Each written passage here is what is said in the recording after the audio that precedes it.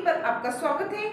मैं प्रिया, आपके साथ। दिल्ली की फैमिली कोर्ट ने बुधवार को क्रिकेटर शिखर धवन को उनकी पत्नी आयशा मुखर्जी से तलाक की मंजूरी दे दी है।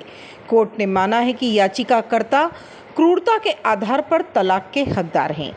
कोर्ट ने उनकी 11 साल पुरानी शादी को ख़त्म करते हुए कहा, इसमें कोई विवाद नहीं है कि दोनों पक्ष आपसी सहमति से तलाक लेने के लिए सहमत हुए थे और उनकी शादी बहुत पहले ही ख़त्म हो चुकी है और वे अगस्त 8 2020 से पति पत्नी के रूप में नहीं रह रहे हैं।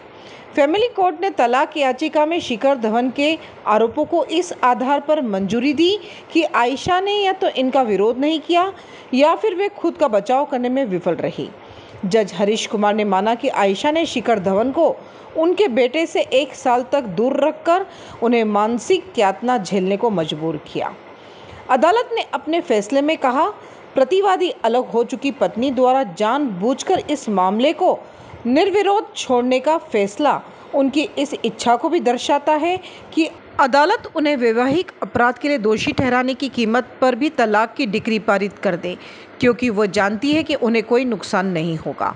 अगर उन्हें याचिकाकर्ता के साथ क्रूरतापूर्ण व्यवहार के लिए दोषी भी ठहराया जाए तो क्योंकि उन्होंने ऑस्ट्रेलिया में संघीय सर्किट और परिवार न्यायालय में पहले ही पर्याप्त अनुकूल आदेश प्राप्त कर लिए हैं। कोर्ट ने आगे कहा, उनके इस विचार ने उन्हें जानबूझकर और इस अदालत के 2 मार्च 2023 और 6 जून 2023 के आदेश का पालन न करने का साहस दिया है। इसलिए वर्तमान मामले के तथ्यों और परिस्थितियों के अनुसार याचिकाकर्ता क्रूरता के आधार पर तलाक का हकदार है। कोर्ट ने आगे कहा है कि एचएमएच की धारा तेरह इसी के साथ बने रहिए राजनामा टीवी के साथ। धन्यवाद।